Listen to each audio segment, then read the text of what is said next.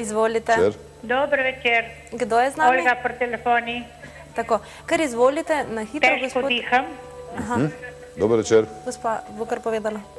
Gospa Olga, Težko diham, pa hrbtenica, sam to bo preveč. e, gledajte, gremo prvo Ja. težko dihanje. Ne? Vi, vi sedite, verjetno, ne?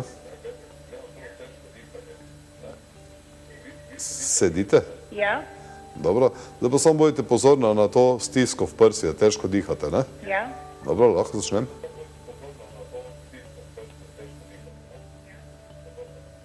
Lahko.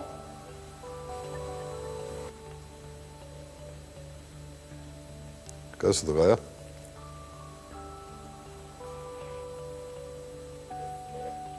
Boljši. Hm? Je še kaj ostalo? Težavnega dihanja, težkega dihanja? Je, kot da bi bil srce v pljučah, tle nekaj odprede, ko je bilo srce buta. e, kaj še občutite? Še težko dihate ali nisem vas prav razumel? Ne, je boljši. Je boljši. Ja. Dobro, kaj pa hrbtenica? Ne, je boljši, sam Se- še. E, hrbtenica še boli? Hrbtenica pa prosim, pomagajte mi kaj. Ja, kaj dihate pa zelo lahko normalno. Ja, Dobro, te pa še opazite hrbtenico. Pa mi povejte, ko še bo to zginilo. ja.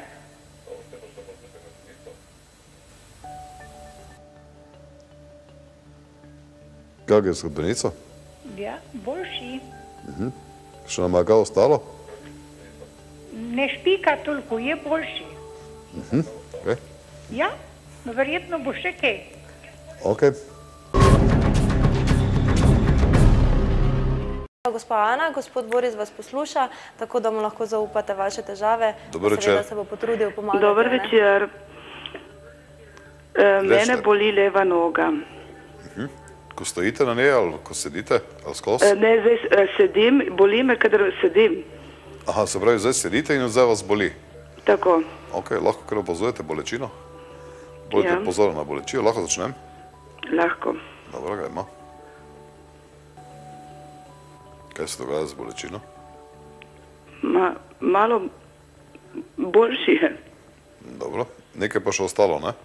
In malenkost. Dobro, še to opazujemo, rečete mi, ko bo zginilo čisto. Ja, zdaj me ne boli več. Ok, hvala, ste poklicala, lahko noč. Najlepša hvala, lahko noč. Dober večer. Dobro večer, klič Mira iz Oplotnice. Uh, prosim vas, gospoda, mi pomagate z enim nasvetom. Kličem zaradi bolezni očes. Desno oko imam glavkom, v levo, levo je boljše. Kaj mi priporočate za moje težave? Eh, Še druga stvar, imam hude, eh, š- hudo šumeče eh, v- v ušesih in me to strašno moti. E, Glavkom vas boli napetost v očesu? Prosim? Zdaj vas boli v očesu? Ne, ne boli, samo občutek imam, da je pesek. Aha. Uh, Glede, jaz vam lahko zdaj eno malenkost tega naredim, recimo zdaj v vodaji. Ne? Ja, Za ostalo pa me potem kontaktirajte drugače in eh, to se v bistvu, kar ste naštela, da rešiti, ni problem. Ne. Lahko pa zdaj takoj recimo pa tisto, kaj vas v tem trenutku najbolj moti, to je glavkom m, v, Suhe oči, v de, čutite? desnem očesu. kaj, kako to čutite v bistvu? Bolj eh, megleno vidim Ja? in občutek imam eh, soze non-stop in občutek imam pesek v oku. Aha. Kaj se zgodi, če vi zdaj zaprete oči, kaj čutite, da vas riba v pot... Riba.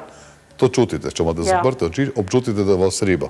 Ko pa od, odprem oko, potem pa vidim tako bolj megleno. Dobro, te pa zaprite oči zdaj. Ja, Ste zaprla? ja, Zdaj čutite, da vas riba, ne? ja. Dobro, imejte zaprte oči, pa samo bodite pozorni na to, da vas riba, pa jim povete, ko bo zginilo. Može? Lahko Ja. začnem? Dobro. Kaj se dogaja s tem, da vas riba? Da odprem oko? Tako imate zaprte, še čutite ali ne več? Ne, Ne, te pa odprite. sem odprla. Kako vidite zdaj? Boljše. Dobro, bi bila zadovoljna? Malo megla je še, ampak boljše je. Ja, no gledajte, zdaj, kar se tiče onega šumenja, ko ste me vprašala, Ja. pa recimo tam, zdaj smo videli, da gre, ne? Ja? Ta preostanek megle, pa ono šumenje, pa se čujemo, ne? kakšni drugi priložnosti, pa bomo rešili do konca. Dobro? Dobro. Ok. Hvala lepa. Hvala Lahko noč. Lahko noč. Dober večer. Dober večer, tle pa Slavica iz celja pri telefonu. Povejte, gospod Slavica, kaj A, je? v levi nogi imam, eh, v peti imam trn v peti Aha, in to mene strašno boli. dobro. Lahko kar opazujete bolečino, imate zdaj nogo dvigeno ali spuščeno? E, Spuš, dvigeno imam. Dvigeno. Pa zdaj občutite bolečino, ko je dvigena noga? Ne, ko Ne. stopi me najbolj boli. Dobro je. Imejte dvignjeno, pa samo bodite pozorni na to, zavedajte se tega trna, pa, se, pa bodite pozorni na to, da ko stopite dol, da vas pač zaboli, tako veste, kak je. Ne? Ja, Ampak zdaj imejte dvignjeno nogo, pa bom potem probala, velja? ja, ne. Lahko začnem? Lahko. Lahko, Ja, ok, opazujemo. ja. Dobro, probajte stopiti dol. Ja. Je boljše je. Je boljše, sedite Ja. se nazaj. Je še ostalo nekaj bolečine ja, malo? še malo. Aha. Dobro, zdaj spet dvignite nogo, pa imejte v mislih pač to, da je še malo ostalo bolečine, ne? Ja, Dobro, da še to probamo. ja, Ok, probajte stopiti. Ja. Čisto malo še boli. Dobro, sedite se nazaj. Imejte v misli, da še tisto čist malo ostalo bolečine. Ja, Dobro, lahko nadaljujem. ja lahko. Dobro, Pojďte ja. pozor na tisto malenkost. Probajte zdaj. Ja. V redu je. Čist Ok. okay. malo mogoče še, no. Senčica v bistvu, ne? Ja, Dobro, bi bila zadovoljna tak? ja, hvala lepa. Hvala vam, lahko noč. Dober večer. Dober večer. Iz žalca kličem, upokojenka. Dober Lepo večer. zdrav, gospa.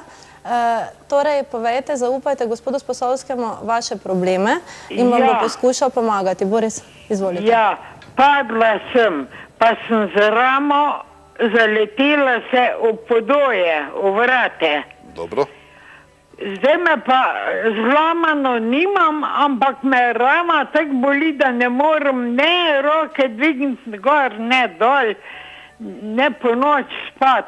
Groz me rama boli in Prav. to leva. gospa? Halo? Ja, Kaj vi zdaj sedite? sedim. In zdaj imate roko spuščeno ob sebi? E, ja, kakor bo, kakor hočete, lahko. Ne, ne, tako recimo, ko, ste, ko vam počiva, recimo, kak, ne, odloženo, da rečemo tako, vas v tem položaju, Imam ob sebi položeno, ja, vas, vas v tem položaju boli kaj ali ne? zdaj le ne. Zdaj ne. Ne. Ampak zdaj pa, če jo probate dvigniti, vas bo bolelo, verjetno. E, Ja, ja, moram pravo lego najti tudi po noč v postelji. Ja, čakajte, uh, gledajte, zdaj, zdaj, ko imate tako položeno ob sebi, vas ne boli, ne? Ne. Zdaj pa probajte dvigniti, pa jim povejte, kako vas zaboli, ko dvignete. Joj, Boli, ne? ja, seveda. Dobro, zdaj pa- mogoče. Zdaj pa gledajte, gospa, zdaj pa dajte roko nazaj, tako ste imela prej, Ja, da ne boli, ne? ne. Zdaj pa tako jo puste, pa samo imejte v mislih, da ko jo dvignete, da zaboli, dobro? Ja, Ok, lahko začnem? ja, prosim. Dobro, gremo.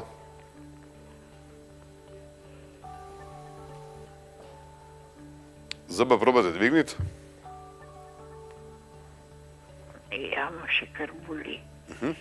Me še kar boli. Dobro, dajmo nazaj. Ja, Ste dali nazaj? se kar pade dol. Dobro je. Zdaj pa spet je puste tako, da vas ne boli izven bolečine. Ja, Pa še naprej imejte v mislih, ste, tak, ste vse spet čutili, kaj se zgodi, ko jo dvignete. Ne? ja, Dobro, gremo. ja. Dobro, vi mislite na to, kako je, ko dvignete, jaz pa bom naredil svoj del.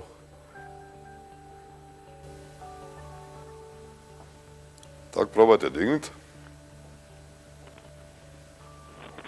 Ja, pa je boljš. Je boljše. Ja, je boljš. Ampak je še pa nekaj ostalo, ne? Ja, pa še kar lahko držim gor. Ne, ne, ja, daj- dajte dol zdaj nazaj. Sem jo dala dol. Dobro, dajte zdaj dol. Uh, Ja, Torej, boljše je, če vas Je. prav slišim, ampak je pa še nekaj ostalo, verjetno bolečine. Ne? Ja, še. Dobro, zdaj pa imejte samo to v misli, tisto, kar ste zdaj čutili, kaj še ostalo. Ne? Roka ne počiva, pa to imejte v pozornosti, da ko dvignete, da je še preostanek bolečine. Ne? Ja, Dobro, lahko gremo naprej? prosim. Dobro, gremo.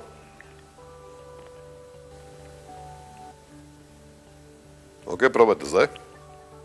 Dvignite roko. Ja, da jo imam pa čist po koncu gor. Je že- Stegeno.